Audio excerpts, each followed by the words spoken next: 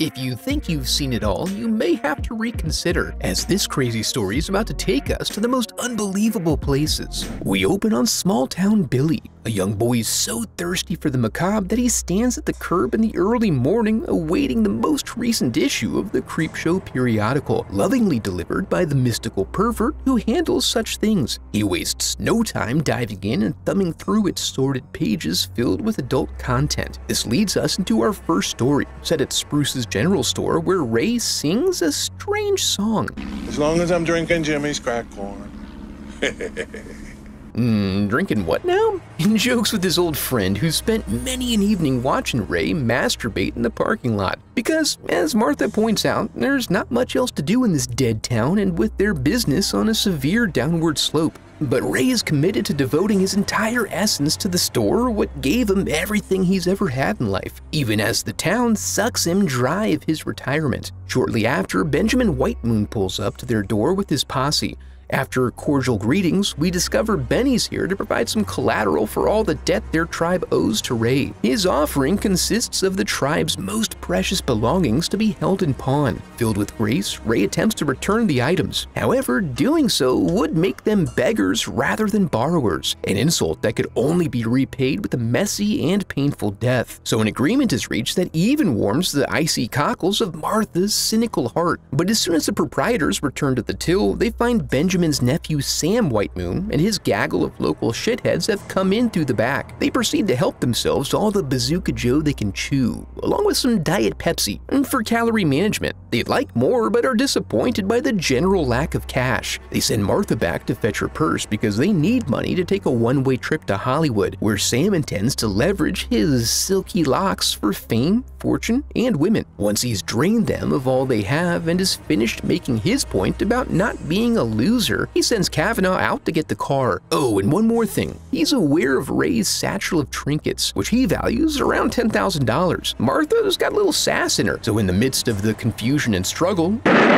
a misfire puts her down slowly. Unremorseful about the fate of the White Devils, Sam takes out the only other unsympathetic witness, while Fatty's in the corner puking his guts out. This is beyond the pale, but the trappings of the Hollywood lifestyle are too enticing to pass up, so he gets back on board. On their way out, Sam expresses excitement about finally getting out from under the burden of the old dust farm. There ain't no dust in Hollywood, man. Well, there must be some dust, right? Luckily, while they intend to be hasty, it's not an immediate trip. They all have time to go home and pack up their stuff. Meanwhile, back at the store, the magic of Chief Woodenhead takes hold and he slowly dons the war paint. Out at his trailer, having nothing of value, Fatty Gribbons spends his extra time taking in a snack and a movie, and his distraction leads to a severe case of penetrative wounds. Andy Kavanaugh has a wealthy father and good prospects here in town, but he doesn't dare cross Sam. He hears a crashing noise coming from the garage, which is where he was going anyway, and finds his Firebird smashed up like a Street Fighter bonus level. We then watch and profile as he gets tomahawked in the face. The Chief's making quick work, but Sam is no easy target, and he manages to confront his foe head on. Despite his insistence that the statue is not alive, he still makes for an escape through the bathroom. The Chief compensates for his stiff movement by cutting an angle and pulling Sam through the wall by his hair. Uncle Ben wakes up the next morning with a little gory surprise in his bed. When he gets to Spruce's, the Chief is grasping the bloody scalp of his most beautiful victim. A just punishment, Benjamin presumes, and the reconciler has returned to his formerly wooden state now that vengeance has been served. With every last detail taken care of, Ben departs satisfied and leaves the bodies to rot. Before getting to the next story, we're shown that Billy spent a month's worth of allowance on a Venus flytrap, which he awkwardly accepts from the postman. Then we catch up with some students of unknown age heading out to Cascade Beach to smoke some reefer on the lake's infamous raft. It's a highly sought after amenity, but the late season should prevent them from finding any competition. And sure enough, when they rip up to the shore, there she blows. Despite it being mid-September, the idea of a four-way on some wooden slats is irresistible, so they all strip down and doggy paddle their way out. At about the halfway point, Randy notices some ducks having a little trouble. He pushes through and the boys make it aboard Sans genitals. Randy rushes Rachel up and they nearly pull Laverne's arm out of its socket as a sentient trash bag floats under their raft. The nature of this perceived oil slick is confounding, especially for Deke. I don't believe in oil slicks, man. I only believe in what I can smell and taste and touch. You can do all of that to an oil slick, my friend. Randy expresses some concern that no one knows that they're here, but Deke's handing out the joints and generally digging around, creating an atmosphere where it's hard to take anything too seriously. As a result, the mesmerizing patterns do their evolutionary job, drawing in its prey close enough to attack.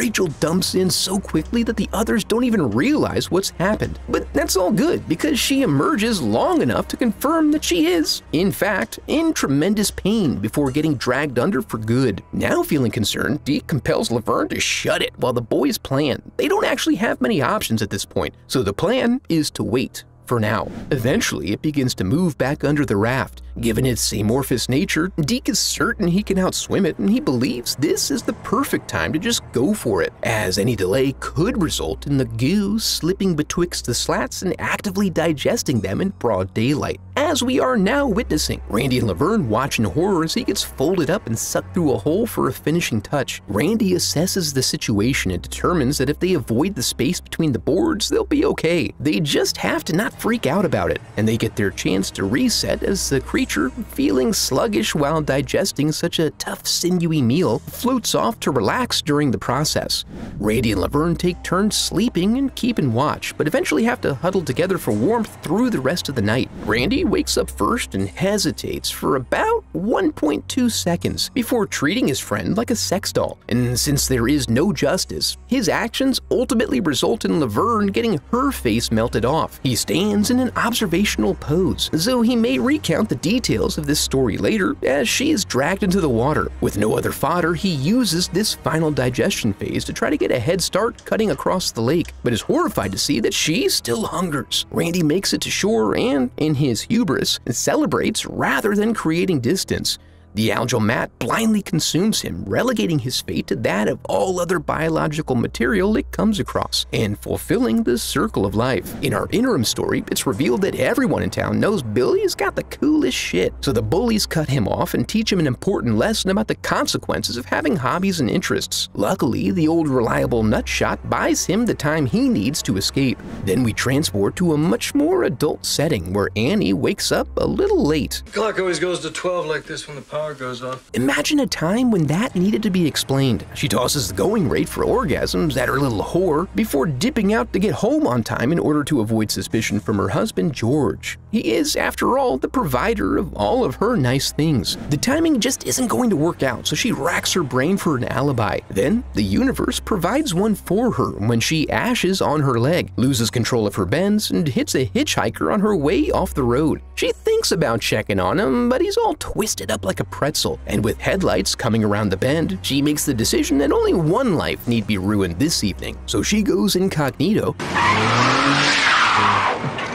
and pulls a sloppy fishtail on her way out of there. Shortly thereafter, all sorts of motorists roll up to insert themselves into the tragedy, hoping they may be able to milk the experience for sympathy later. Annie goes blowing down the road trying to rationalize her actions. I mean, why mess things up for herself over an honest accident? yeah, that's the ticket. She'll let it settle in a bit and see if she can handle it. If it becomes too heavy, she'll turn herself in. That is the perfect point of focus for a catastrophe that has befallen someone other than yourself. But it ends up appearing all good, as when she stops for the first time, she sees the kindly gentleman approaching her from the rear. As we come to find out, he just really wanted to take a moment to thank her for the ride. Even fleeing in short bursts won't deter him. It's a driving motivation that keeps him creeping about and holding on tight no matter what occurs. She even takes a wooded drive in the moonlight in a desperate attempt to shake his unbreakable grip. Only when she finds a perfectly placed log to go underneath does he finally get scraped off. Then, as is her pattern, she takes a little rest not far from the scene. She then reaches into her glove box to withdraw her pistol. So when he again expresses his boundless gratitude, she turns his battered face into an even bloodier, pulpier mess before driving back and forth along the roadway and smearing his ass all over the pavement. So I guess we're going to assume that she can live with the guilt. The only problem though is that she has evidence absolutely dripping off of her. Despite leaving him gurgling on the ground behind her, he still manages to come up from underneath her radiator. In response, she takes another detour through the scenic countryside until she finds a nice sized tree to unload him into. Afterward, she smashes him up good several times, but then succumbs to her various concussions. When she comes to, it's snowing outside, and in a Christmas miracle, her vehicle is still drivable. She now assumes this whole ordeal was a dream pursuant to running off the road and hitting a tree. Now, with a legitimate excuse for being late that covers her original sin of tricking about, she slowly and carefully makes her way out of the woods. When she eventually arrives home, she's surprised to find that her husband's not even there. But she's not left lonely. An old friend hops out and continues to demonstrate his gratitude, this time with a sloppy wet lick on the shoulder. We discover that George is late because he was the man on the scene at the hit and run, and he returns to find that Annie has been granted the gift of escaping both personal and public guilt. Of course, we need to get some closure from young Billy. He cycles hard to keep a lead on his pursuers and finds his way into a little dead end. But it is ultimately revealed that this is his little alcove where he's been cultivating a secret garden of carnivorous plants for some time. As the bullies pay for their wickedness with their lives, he finds himself in rapturous pleasure from witnessing the bloody efficiency of his twisted creations. The little freak. If you think you can handle more, be sure to check out this video next. Now that we're here, I want to congratulate you for making it to the end of the video and affirm that you are a very special person because of it. And if you enjoyed the video, I would love for you to become part of the channel by subscribing.